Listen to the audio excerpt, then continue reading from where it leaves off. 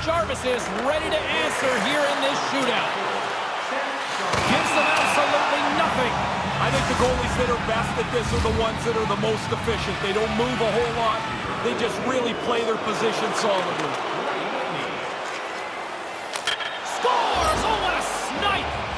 Didn't have much room.